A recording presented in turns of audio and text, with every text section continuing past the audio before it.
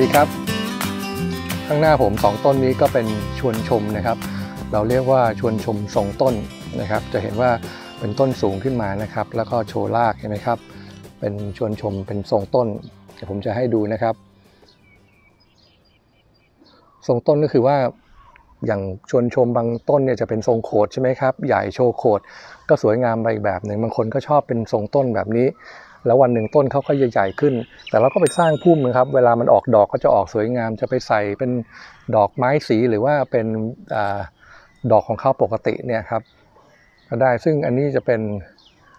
ชวนชมพวกไทโซโคนะครับ จะเป็นดอกเล็กเนี่ยนะครับ ดอกเล็กประมาณเท่ากับเหรียญบาท อันนี้ผมจะโชว์ให้ดูนี่นะครับ ดอกเล็กมากเมื่อเทียบกับเหรียญ1บาทนะครับ เมื่อเทียบกับดอกชวนชมฮอลแลนด์หรือดอกชวนชมอื่นเนี่ยนะครับ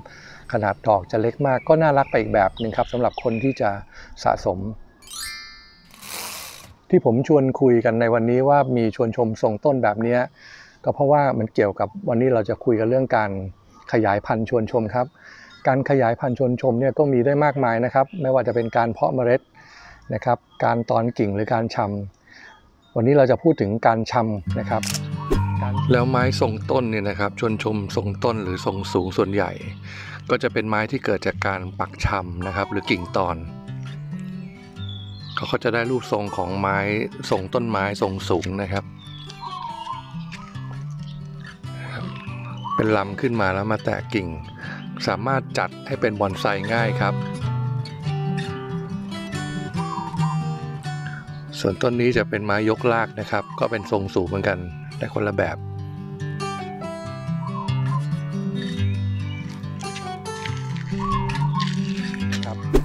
การชำเนี่ยทำได้ไหมทำได้แล้วก็ไม่ยากนะครับ บางคนเน่ามันก็มีโอกาสเน่าได้ครับ แต่ผมจะเลือกใช้การชำชวนชมเนี่ยต่อเมื่อ ผมมีกิ่งพันธุ์เยอะๆนะครับ หมายถึงว่าเมื่อตัดชวนชมมาแล้วเยอะๆเราแทนที่เราจะทิ้งกิ่งไปเนี่ยเราก็เก็บมาชำเข้าซะเพราะฉะนั้นเนี่ยการชำมันก็มีโอกาสที่จะเรียกว่างอก 60-40 นะครับ งอก 60 เสีย 40 เน่าได้เราไม่เสียดาย เป็นกิ่งถูกๆ เป็นชวนชมพันธุ์เก่าฮอลแลนด์เนี่ยเราตัดแทนที่เราจะทิ้งเลยเราก็มาปักชำนะครับแต่ผมมีวิธีของผมเดี๋ยวผมจะทำวิธีของผมและแนะนำให้ให้ลองทำกันดูครับง่าย แต่ก่อนอื่นเนี่ยนะครับ เดี๋ยวเราไปเลือกกิ่งกันดูก่อนว่าเราจะเลือกกิ่งแบบไหน กิ่งชวนชมเนี่ยนะครับ ถ้าจะให้งอกดีแล้วก็ไม่เสียไม่เน่าเสียง่ายนะครับควรจะเป็นกิ่งที่มีสี น้ำตาลนะครับเทาๆน้ำตาลน้ำตาลคือดูว่าแก่แล้ว ถ้าเป็นยอดอ่อนๆเขียวๆเนี่ยอย่าเพิ่งไปรบกวนเขานะครับปล่อยเขายาวไปก่อนนะครับ ครั้งนี้ผมจะเลือกต้นนี้นะครับ ถึงจะเป็นสีเขียวแต่เป็นกิ่งที่แก่เลื่อนลงมาข้างล่าง การที่เปลือกเขาเขียวเนี่ยมันแปลว่า น่าจะเป็นดอกสีขาวครับ แต่ในขณะเดียวกันเนี่ยนะครับในเมื่อเราจะชำแล้วเนี่ยผมมีเทคนิคเล็กๆน้อยๆของผมอีกเหมือนกันนะครับ ซึ่งทดลองแล้วได้ผลก็คือว่า ในเมื่อชำแล้วให้เหมือนทรงต้นแล้วเนี่ย เราก็ทำให้เกิดรากรอบๆรากรอบๆของกิ่งชำเนี่ยนะครับ บางคนเรียกว่ารากตะขาบนะครับ บางคนเรียกว่าจัดรากนะครับ เพื่อรากเวลามันออกมารอบๆเนี่ยมันจะสวยเหมือนต้นไม้ที่เป็นต้นไม้แท้ๆนะครับ ต้นไม้ใหญ่ๆ แล้วเราก็จัดรากในกระถางเนี่ยมันจะสวยมาก แบบตัวอย่างนี้นะครับ เราทำตั้งแต่เด็กๆ วิธีการของผมเป็นอย่างนี้ครับ เดี๋ยวเราไปทำด้วยกันนะครับ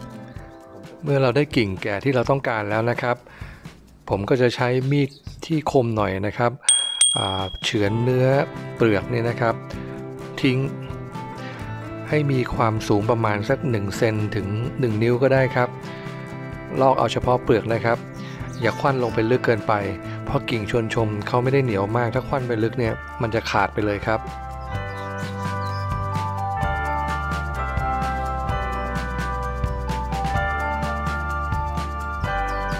ดเอาเนื้อเยื่อที่ติดจากแผลด้านบนลงไปบ้างนะครับ ให้เขาขาดออกจากกัน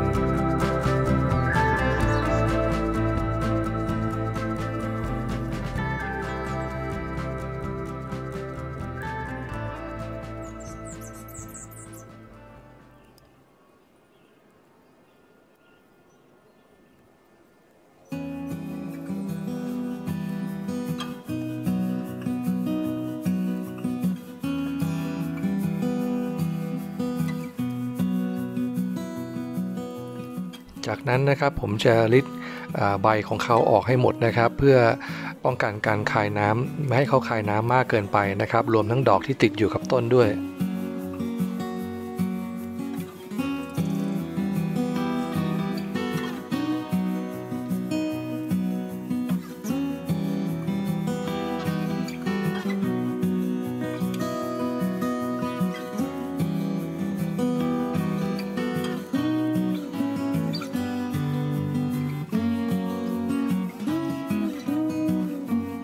นั้นผมก็เอาไปไว้ใต้ร่มไม้ชายคานะครับ ผมไว้ใต้ชายคาบ้านไม่ให้โดนฝน โดนแดดประมาณ 3-5 วันนะครับกำลังดีให้แผลแห้งครับจากนั้นนะครับเราก็มาเตรียมวัสดุในการชำผมเลือกใช้ขุยมะพร้าวนะครับ เอาขุยมะพร้าวมาแช่น้ำนะครับ ขยำให้เปียกเท่าๆกันครับ บีบเอาน้ำออกนะครับ สังเกตนะครับ บีบให้น้ำไหลออกนะครับ แล้วก็ยังให้เป็นก้อนนะครับ อย่าให้แตกแล้วก็อย่าให้แห้งจนเกินไปกำลังดีครับ เราก็ใส่ถุงเข้าไปให้เต็มถุงนะครับ ยัดลงไปให้ถึงด้านก้นด้านล่างนะครับทำแบบนี้ทั้ง 2 ชุดเพราะเรามี 2 กิ่งครับ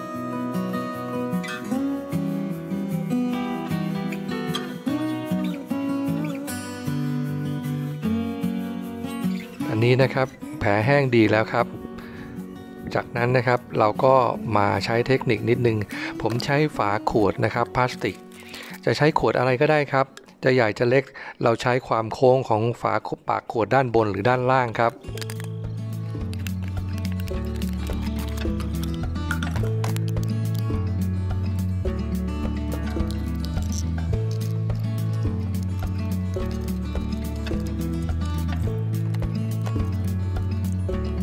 ตัดออกเป็นชิ้นเล็กๆนะครับ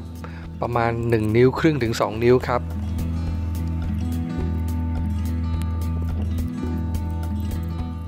อย่าใหญ่มากจนเกินไปนะครับ เดี๋ยวจะใส่ถุงไม่ได้ครับ จากนั้นนะครับก็ไปวัดจุดศูนย์กลางของกิ่งนะครับทำเครื่องหมายเอาไว้แล้วก็เจาะรูครับ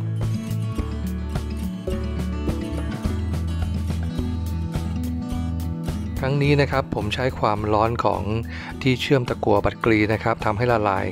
ง่ายกว่าแต่เราสามารถใช้อะไรก็ได้ครับ จะใช้มีด หรือใช้อะไรก็ได้วัสดุที่ท่านมีครับ เจาะให้แผ่นพลาสติกใสให้เป็นรูนะครับเพื่อที่จะสอดแกนของชวนชมลงไปได้แบบนี้ครับ เอาให้พอดีนะครับ อย่าให้หลวมเกินไป แต่ต้องเว้นช่องว่างไว้ประมาณ 1-2 มิลนะครับ ระหว่างแผ่นกับแผลครับ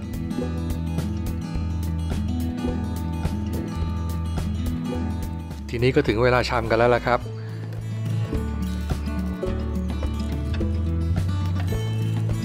เราจะเอาขุยมะพร้าวออก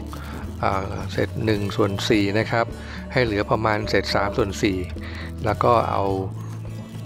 กิ่งชวนชมที่เราเตรียมมาไว้ใส่ลงไปนะครับเอาวางลงไปในแนวให้พลาสติกเนี่ยแนบไปกับขุยมะพร้าวนะครับ แล้วก็ใส่ขุยมะพร้าวที่เหลือลงไปด้านบนให้ทั่วทั้ง 4 ด้านนะครับ กดให้แน่นนะครับ ทั้ง 4 ด้านโดยประมาณ แล้วเราก็รวบถุงนะครับ แล้วก็มัดปากถุงด้วยเชือกหรือหนังยางที่ท่านมีครับ อะไรก็ได้ ให้แน่นพอสมควรนะครับ อย่าแน่นมากเกินไปครับ เดี๋ยวกิ่งเขาจะช้ำ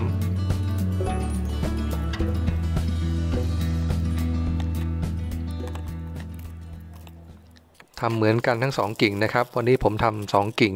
ใครทำหลายกิ่งก็ทำเหมือนเหมือนกันแบบนี้นะครับ ทุกๆ กิ่ง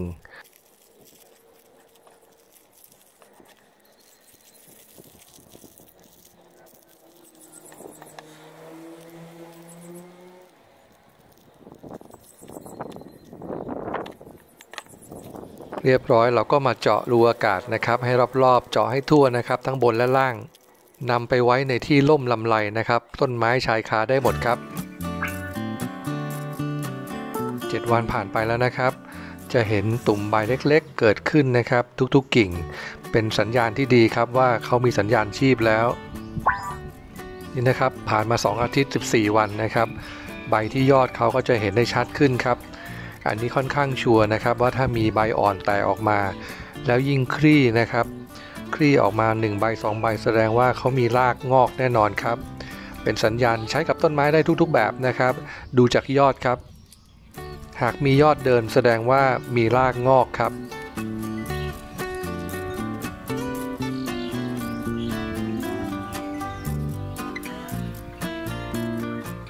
เรากลับไปดูที่ต้นต่อเขาบ้างนะครับ ต้นแม่นะครับ ตัดมา 30 วันครับ ครบ 1 เดือน เป็นยังไงครับ ยอดเขาก็แตกนะครับ ทั้งซ้ายทั้งขวาเข้าหลักการเลยครับ ตัดที่ตาแผลที่ตานะครับ ซ้ายขวาก็จะแตกออกมา แถมยังมีดอกให้ชมอีกนะครับ ดูสิครับแล้วเรากลับมาดูที่กิ่งชำครับ 30 วันอะไรเกิดขึ้นบ้างเห็นไหมครับกิ่งนี้ก็มีดอกออกมาด้วยเหมือนกันครับ แล้วมาดูที่ ถุงชำนะครับ เห็นไหมครับจะมีรากแทงออกมาให้เราเห็นแล้วครับ ชื่นใจดีนะครับ เห็นอย่างนี้ถือว่าสำเร็จแน่นอน อันนี้ 45 วันนะครับใบเขาก็แตกคลี่ออกมามากขึ้นนะครับอดอกเขาก็ใหญ่ขึ้น สังเกตที่โคนนะครับ ถ้าเขามีรากออกนะครับ แสดงว่าเขาหาอาหารได้แล้ว ยอดเดินสวยเหมือนต้นไม้ปกติ กิ่งที่โคนที่เราชำเนี่ยอาทิตย์แรก ๆ จะเหี่ยวตอนนี้กิ่งจะตึง นะครับ แล้วก็เห็นรากได้ชัดเจนขึ้นอย่างนี้ครับในถุงเนี่ยนะครับ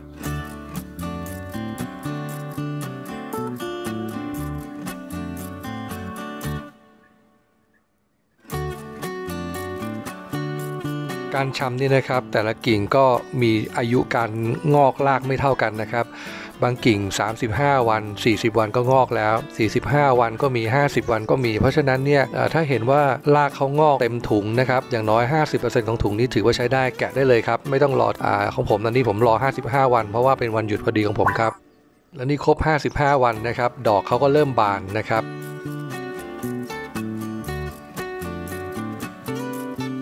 เดี๋ยวเรามาลื้อกันดูสิครับว่ารากเขาจะสวยแบบไหน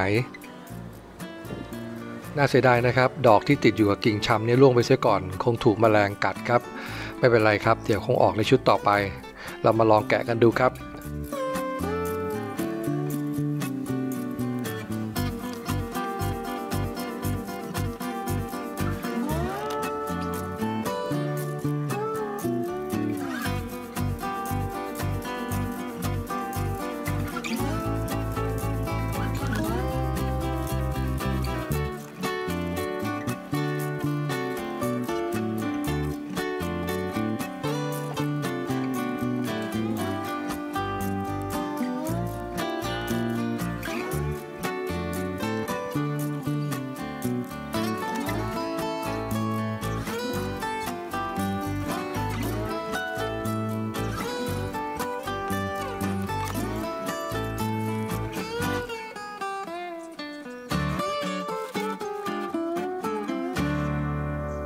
จะล้างขุยมะพร้าวออกนะครับ เพื่อให้เห็นรากว่าสวยแบบไหนออกแบบไหนนะครับ แต่ในความเป็นจริงถ้าท่านทำเนี่ยท่านอาจจะไม่ต้องล้างแบบผมก็ได้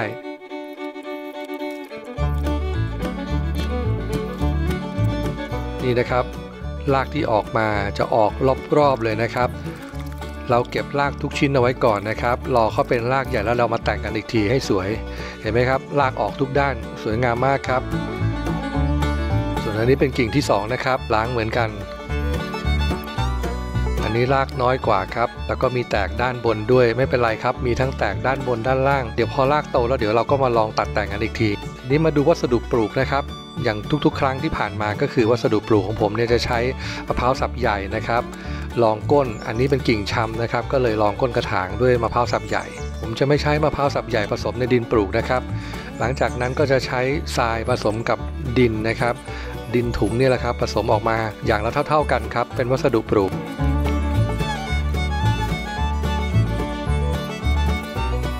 นำวัสดุปลูกนะครับ ใส่ลงไปบนมะพร้าวสับนะครับ เกลี่ยให้เรียบๆ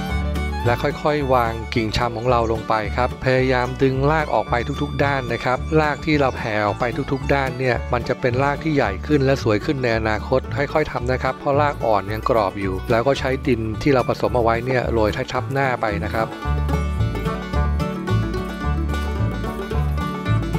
แล้วก็ตามด้วยกิ่งที่ 2ทำเหมือนกันนะครับมะพร้าวสับแล้วก็ใส่ดินผสมนะครับ ค่อยๆ วางกิ่งชำของเราลงไปนะครับ วางเฉยๆ ไม่ต้องกดนะครับโรยดินที่เราผสมให้ทั่วอีกทีหนึ่งจากนั้นนะครับค่อยๆ เทน้ำลงไปเพื่อให้ดินที่เราผสมอยู่ด้านบนเนี่ยไหลลงไปในช่องข้างล่าง เพื่อได้สัมผัส แล้วก็อุ้มรากที่เกิดใหม่ทุก ๆ ชิ้นทุก ๆ เส้นนะครับลดน้ำแล้วดินยุบไปเราใส่เพิ่มได้นะครับแล้วเราคอยตั้งจับลำต้นไว้ด้วยครับเพราะลำต้นเนี่ยตอนนี้ยังอ่อนเราก็จับตั้งเอาไว้ครับถ้าน้ำไหลลงก้นกระถางแบบนี้นะครับ ถือว่าเยี่ยมครับวัสดุปลูกเราถือว่าโปร่งมาก ก็เสร็จเรียบร้อยนะครับ ชำออกมาจนมีรากสวยนะครับรากตะขาบรากรอบทิศนะครับ พร้อมที่จะเป็นชวนชมทรงต้นนะครับ แล้วก็มีรากสวยทุกๆ ด้านเหมือนบอนไซลองทำดูนะครับง่ายๆ ทุกๆ คนทำได้ครับ ผมโชว์ทีละสเต็ปอย่าลืมกดไลค์กดติดตามเป็นกำลังใจให้ผมด้วยนะครับ ขอบคุณมากที่ติดตามชมมาโดยตลอดนะครับ พบกันใหม่คลิปหน้า สวัสดีครับ